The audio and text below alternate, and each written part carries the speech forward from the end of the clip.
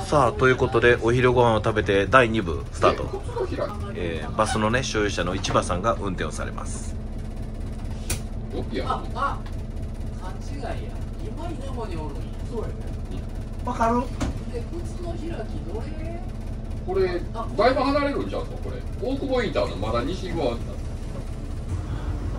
僕が見てもどこバスでわかああかわかわいらしいバスですね。ちっちゃいちっちゃいバスねんない。お前新規バスだから多分わからない。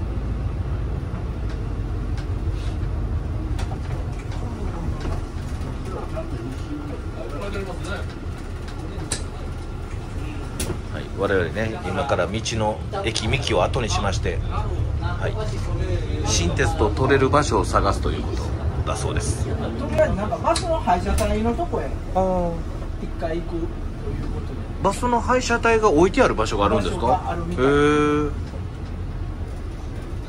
これ実際にバスの運転してる間に声かけても大丈夫なんですか？喋りかけても。喋るのは大丈夫だです。大丈夫な感じですか？他の人よりはちょっと飽きませんねやっぱり。いやいやいや。バスの運転で何が一番難しいんですか？バスの運転って。っぱり感覚がねあのあプロの方はもう慣れてはるけど僕ら素人やからそれ車両によっても特性が違うんですよねああいうのって。で電車もそうじゃないですか。あまあちょっとやっぱり癖がね。うんこのバスは運転はしやすいとは思いますけどね。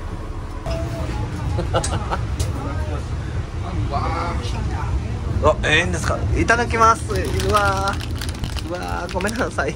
あ届かへん。あー。うわー。いただきます僕らの時代はこんなんね。視聴者の皆さんご存知ですか？あそこにね地下鉄の駅をカンデにっていうめちゃくちゃ大きな看板があるんですよ。あれもねいつまで残ってるかね分かんないんですけどね。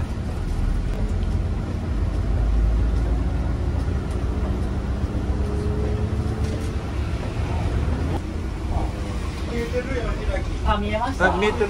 右？左左。あ左に開き交差点名は？秋田。秋田っての交差交差点名ね。うわこんな。難しいわこんな。おおさすが市場さど素人ですんいや素晴らしい。これこここが開きですね。へえ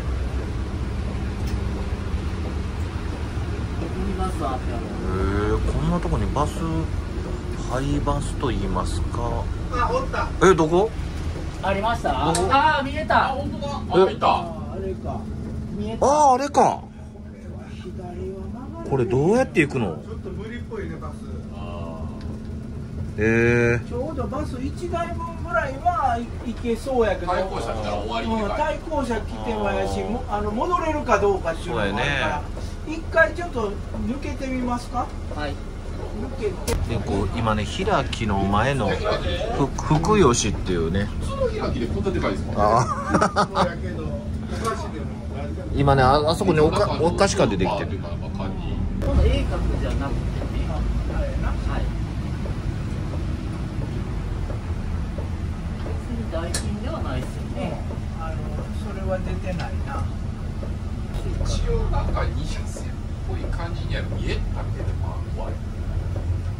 2車線。けるか、うん、まあ行けなかない。一回行ってみようかチャレンジャーチャレンジャーこれすごいな。冒険や冒険。さっきの道へ出れば出てくることはでできたやろから、うん、だけですよ絶対なんちゅう品のない話や。今ねベタ踏みやって話をしてね。ベタ踏みだ、はい。やっぱこの坂はなかなかきついんですね勾配がね。これ普通のの系統ですもんね。あーなるほどね。から幸せの村行くはいはい。回しれるからうん。霧すごいですね。真っ白よ。中にみんな吸い込まれていく。これはこれは運転怖いな。すごいな。陸のことを気を抜いたりまあでもバスホー。ムランプついてあるしあうわーやべ。あ いや真っ白やんこれ。見えへんやんええすごいな霧の中を走る。だからこんなとこ住んでんの？まあまあまあまあ行ってます。ええこれどっちですか？はいまっすぐ。まっすぐ。はい。はい。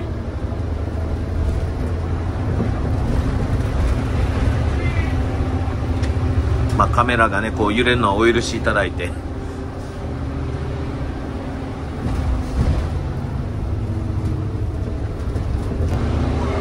見えへんもんね。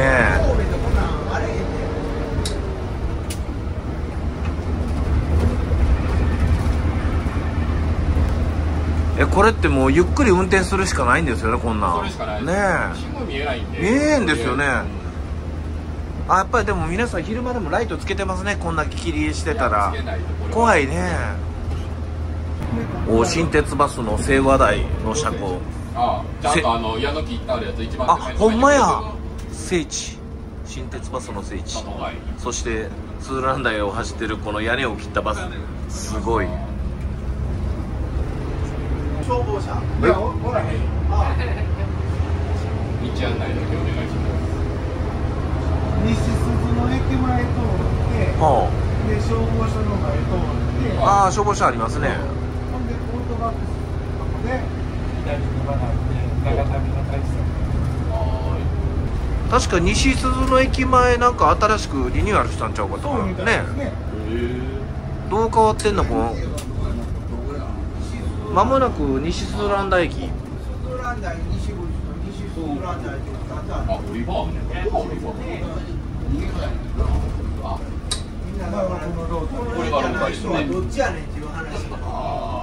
あれ分からないですよね。西鈴と鈴蘭台西口と。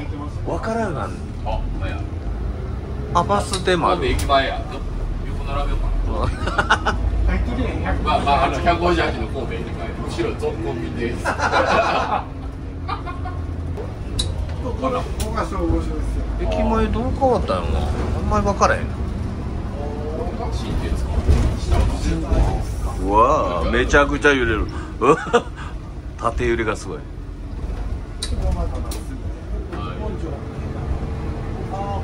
これがね消防署ね。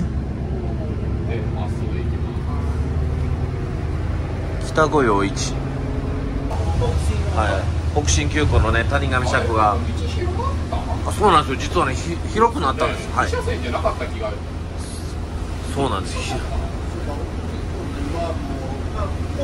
これねそうなんですよ。車庫の色がねあのオレンジ色っていうか茶色から緑色になってるんです。よあほんまや変わってる。塗り替えられてるんですね。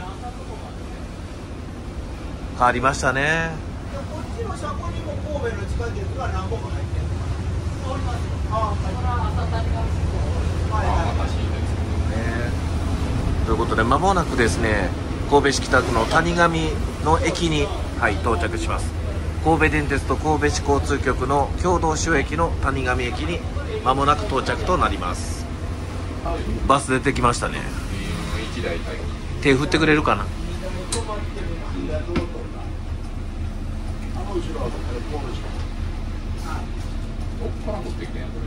スズランダ駅。おおちゃんと頭下げてくださってなんか嬉しいですね。え？